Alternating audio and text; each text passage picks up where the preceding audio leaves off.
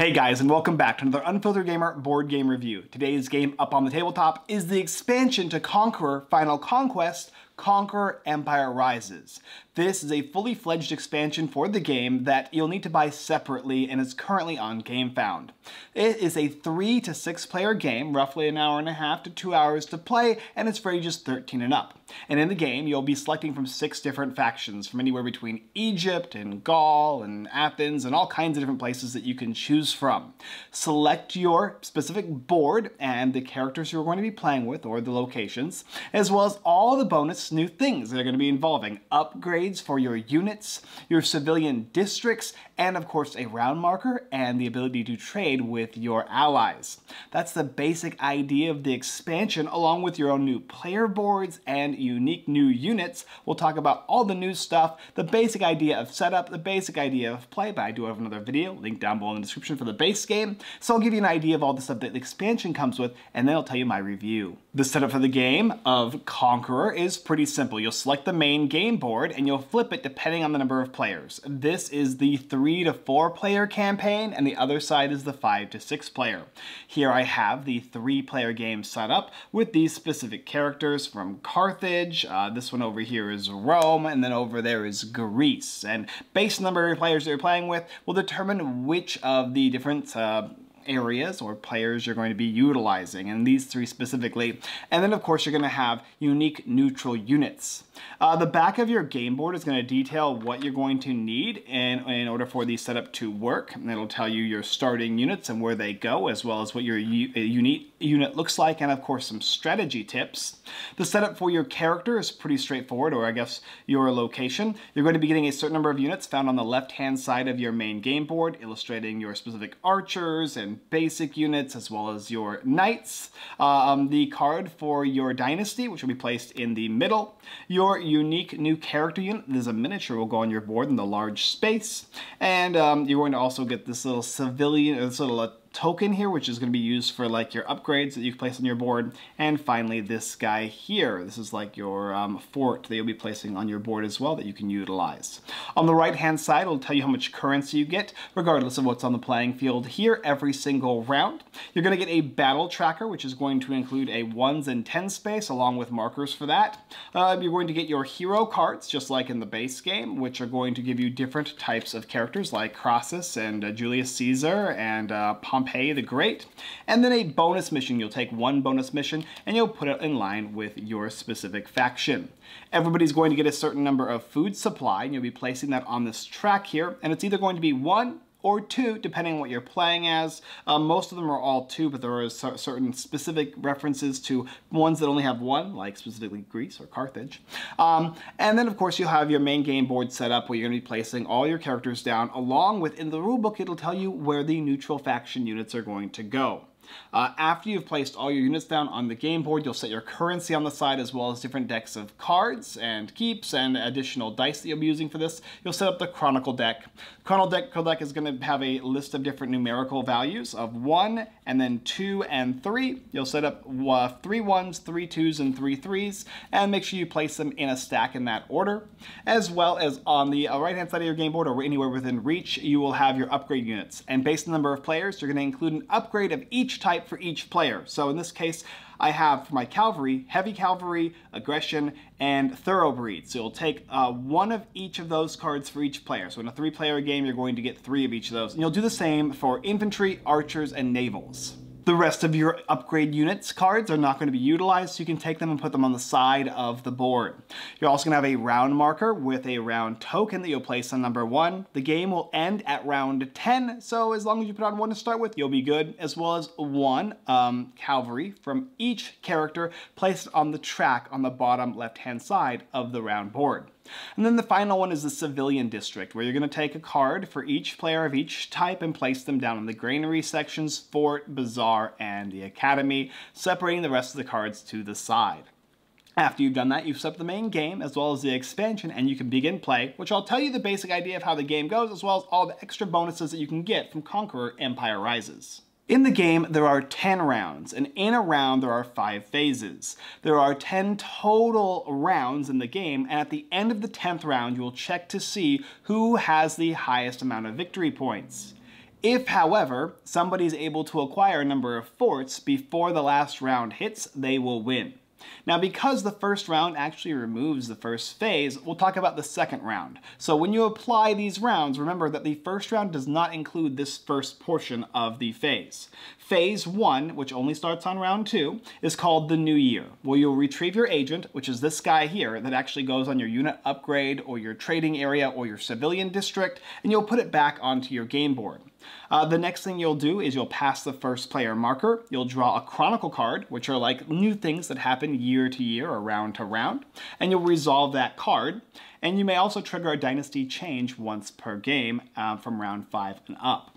The next thing that happens is taxation. Taxation will allow you to earn two money, as well as any additional money from cards on your player area and from units that you control with a money symbol on their region. So in this example, if I had uh, this specific Roman character here, um, I'm going to get two from the board. Then I'm also going to get any more that I have attached to my areas here. And Rome has one, which would give me three. If I also had a character in Sardinia, that would also give me four. And then let's say that I had something like a bazaar, that would give me five. And that's the way you're going to be earning currency. You know, everybody can do this simultaneously. The next thing is policy. Send your agent to a space not occupied by another agent, and you can either trade, build a district, or you can upgrade your units. This is your agent here, and you can go ahead and place it on any space that's open, that has a character that is, is part of the game, um, that isn't your own. Um, in the case of upgrading units, you just select any one of the four, pay the cost, take the upgrade, and place it down on your board. If it's a trade, you're gonna go ahead and place this down on the character you'd like to trade with or the neutral unit. You'll move your cavalry up the space, gain the value, and then give your opponent value back. And that is how all trades will work. Then you have the civilian districts. The civilian districts will let you choose any of the locations as long as they're not occupied, pay the costs, gain the benefit, and they'll provide unique benefits, whether it be food or currency or a fort, etc etc. Um, after you've selected your agent and placed it down, everybody else has done as well in turn order, then you'll move on to the next portion, which is preparation. You'll recruit units up to your food supply, and then forts, uh, uh, and from forts you control. So forts are basically these little areas on the, on the map. There's great forts and regular forts. you can basically spawn units from those areas based on the amount of food you have in your supply will dictate, dictate, how many units you have on the field. So if I have two food, I can have eight units total, no more. So if I wanted to, I could go ahead and place down units based on the areas that I have, based on what I'm allowed to place.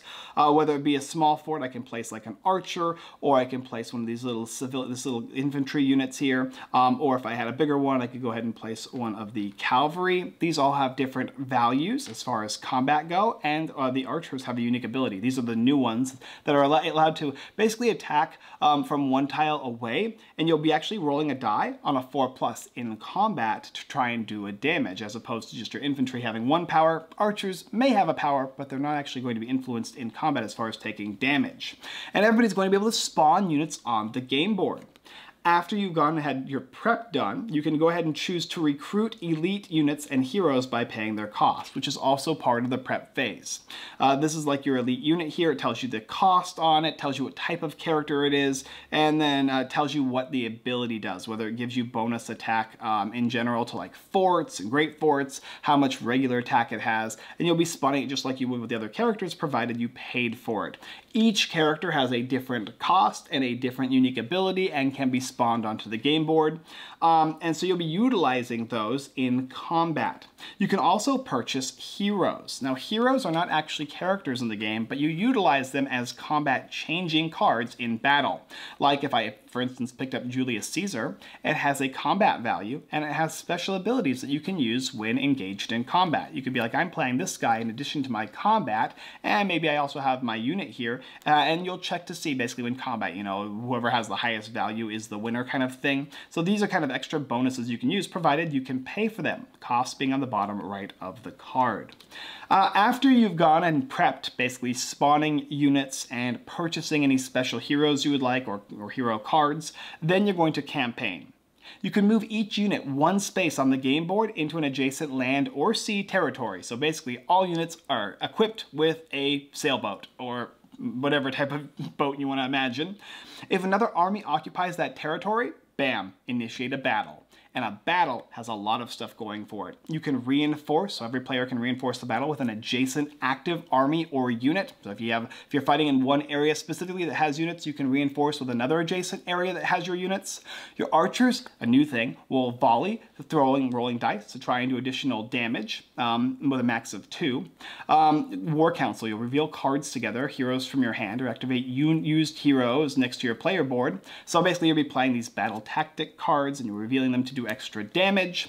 Um, melee are going to roll dice. Then you're to check your casualties. Players will lose units. If you remove their units from the game board, you control that area. And that's the same for regular characters in the game, or the more um, the the neutral characters that you can get rid of as well. And after you have done that, everybody's gone through and torn out of that, then of course you'll go through the new year again, and you'll move your tracker here from round one to round two, and you will rinse and repeat. And that's the basic idea of the game. Now, like I said, if you want even more in depth as to how to play the basic game, you can go ahead and watch my other video. It'll explain how combat works and all that good stuff. But for this, most mostly for expansion reviews, I like to just cover the main new expansion concepts to the game as opposed to getting into the nitty gritty of the base game. So that's what we're gonna do in my review. In Conquer Empire Rises, the expansion from Conqueror Final Conquest, there is quite a lot that has been added. There are new aspects to the round of gameplay that you'll be doing now. Um, you're going to be able to send out your agent, which is the most unique thing so far, in my opinion, for the game, uh, to one of these three game boards. Now, there always was rounds, and you always had your basic two units, which were your um, horses and your regular dudes. Um, but now you've got this unit here, and this unit can go to upgrading your units, which will give you the ability to make your horses do something unique. Um, or now your archers are going to get uh, on a 3 plus as opposed to a 4 plus damage, and so on and so forth. There's a ton of new upgrades that you can purchase with the different areas, and you're limited to which ones you can select based on what other players have selected as well. You can also go ahead and take this marker and place it down on a trade area. Thusly, you and somebody else can benefit. But when you do that, you can no longer hurt that player for the round. So you're like in a treaty, you both gain value, but neither of you can mess with each other, which works great in gameplay because most of the time people go into treaties is because there's one sole survivor player that's doing excellent, and so everybody else has to kind of team up against them, which is what would happen in the real world as well. Another cool thing is your civilian districts. Now you're going to be able to upgrade basically what your area is going to have. Now, if you control Rome, Rome might also have a bazaar and a granary and a fort and an academy. And of course, you'll be placing them on your game board in these different locations. Now you're limited to the number of things you can have, but throughout the game, uh, there's a lot of things and choices you can make which will benefit you. Speaking of cool things that benefit you is when you're trading and you're moving your cavalry units one space at a time, you're gonna be slowly starting to gain more and more value value while giving your, your opponent slash your current ally some value. And as you move across this track here, there's going to be bonuses that you'll be presented with. And my favorite one at the very, very end is you can take an extra action using this guy by moving him again to somewhere else, allowing you to basically gain a new civilian district or a unit upgrade. So now you can kind of mm, combo off as long as you choose to do a lot more trading. So people who trade might be of benefit, however, they'll have a lot less upgrades to start the game off with, so maybe they become more of a powerhouse at the very end of the game. Uh, the fact that you can only trade with certain people who are on the board makes sense. When you're playing obviously with a six player game, all of the spaces open up, that you can mess with pretty much anybody. The same uh, applies for the main game board when it comes to your supplies and whatnot, still functions the same as they are the original game with how much food you have, how many units you can have, and all of this really makes sense in context to the year this was around and the type of requirements for resources and supplies and how many units you actually had for military. It all works out well, as well as the different heroes for each of the characters, uh, or I keep saying characters, but it's basically like the different empires of, of that time period. And each of these cards are very, very extremely powerful. And that does not change in this game. They're still very, very good. Your bonus mission is still present, and it might require you to do something like conquer Babylon or conquer North Africa and score yourself additional currency, which will allow you to hopefully secure more forts. And like I said, I believe it's seven forts you need to conquer, and if you do that, you instantly win the game. Uh, being able to also bring out a new unit, which is also a miniature, which is awesome, is great this guy here is powerful. They're very powerful, but they're also very fair. The only thing different with this unit compared to the other units that you might have is that once this guy perishes, he does not come back. So make sure that when you use him, it's in a dire circumstance and you can keep him alive as long as humanly possible. Uh, each of the factions have their own unique abilities, which are pretty cool, and cards that you can flip at certain points in the game, giving you benefits, and you have to kind of make sure that you have met um, the requirements. So for instance, with Carthage, starting from round five, if you control no more than one great fort and two small forts, you can flip this. And I believe that's the same for all of these guys. And when you flip them, this is going to give you benefits. Um, now, of course, the player who is ahead, most likely controlling a lot of things, will not be able to, which is kind of a balancing act in this game. And this game has a lot of balancing acts as you play through it. You never know who's going to win. Like I said, there are certain things that change throughout the game. There's the certain types of chronicles that can make different things happen. Your bonus mission, whether or not in the middle of the game you can flip and gain value, who you choose to trade with, and who you choose to ally, uh, with, which will happen as well, and then the types of unit upgrades and civilian districts that you can implement to your player board. Um, archers. Archers are a new type of unit now. These guys here have a range. You'll be rolling dice with them to see if they hit from a range. Really, really cool. Nice little addition. Nothing super duper special, but it works well and they existed, so why not add them?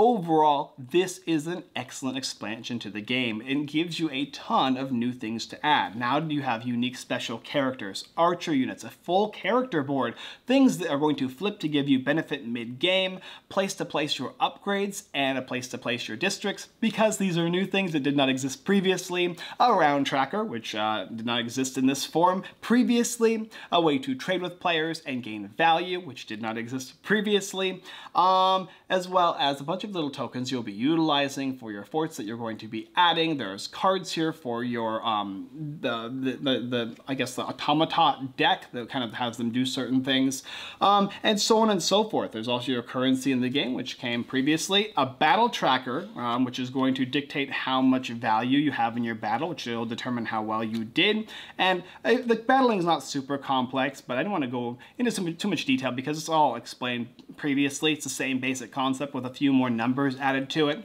Uh, the game board still represented basically the same as previously. I think it is previously the exact same game board with the option to flip for a 3 to 4 or a 5 to 6 player game. How combat works and how area control works and the idea of it being kind of a risk-like strategy is still very much the same in, in its, uh, its style, its gameplay. It's just got a lot more added to it. And if you liked this game and you enjoyed its combat and its complexities, this just brings a whole new world of additional gameplay elements. It includes a bunch of unique concepts. It allows you to kind of focus on one thing or another, not usually allowing you to choose like everything that you'd want to choose, but enough to give you a taste of literally everything, to which makes this game have a lot of replayability. Do you like these tile games where you're basically trying to have area control and a little bit of tableau management with a little bit of risk and a lot of combat and like social utility when it comes to diplomacy? Conqueror is going to be one of those games for you. For those of you who do not like games that will take quite a bit of time, might involve some AP, understanding the concepts of how combat works, because it's probably the most complicated aspect of the game, and how you can move along certain areas and where you can move along. There are certain restrictions as to how and where you can move. Um, that kind of thing, then it might not be uh, for you. Uh, overall, though, I'm a big fan of anything that has to do with uh, the pagan empires, the early pagan history, Rome, Greece, Athens, all this good stuff. And this presents all that really well, beautifully done, cool new artwork that I really, really appreciate that added to the game that kind of just gives it a little bit more oomph and overall is a must-have for this expand for this base game. So yes, Conqueror, Empire Rises is a must-have. It's something that I'm going to be keeping for this game forever now as I play it, and I suggest if you like the base game, this is a guaranteed must-have. Thank you guys for watching another Unfiltered Gamer board game review for the game Conqueror Empire Rises, the expansion for Final Conquest. If you're interested in picking this game up, it's on GameFound. There's a link down below in the description where you have the last week to take a look at it. Um, if you're interested, there's a website unfilteredgamer.com, blog post giveaways, giveaways, there's two of them, um, board game reviews and all kinds of stuff and blogs. You can check that out as well as our Instagram. We have a live stream and whatnot every Wednesday where we sell games, and on Sunday, Twitch, YouTube, and Facebook, we play games just like this one here. In fact, I think we did play this years ago. All right, guys, that's all I got for you this time. And as always, I look forward to venturing in uh, once again to the early Roman period and battling it out with you next time.